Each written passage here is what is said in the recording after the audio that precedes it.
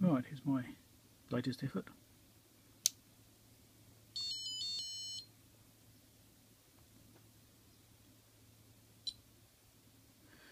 Arduino controller which is using a CB conversion. And it can do up to 10 bands.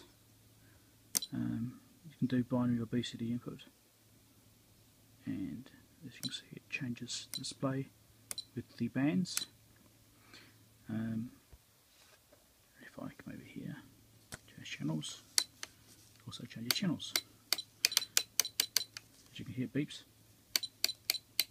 they can be turned off of course um, yes, so that's all that. Not a bad little thing. Does the job. So you can see it's got the uh, band. It goes right down to the ultra low band. So it's got two bands below that one and two bands above that one. And also the NZ band is programmed into it as well, but it's not enabled.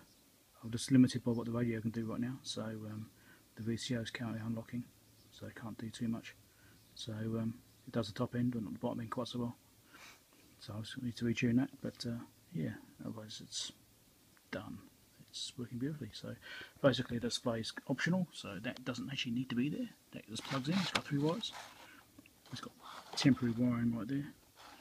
And this is the Arduino unit, which has got a built-in USB plug.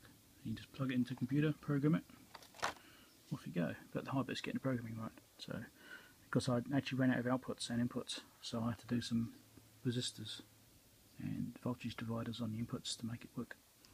So, yeah.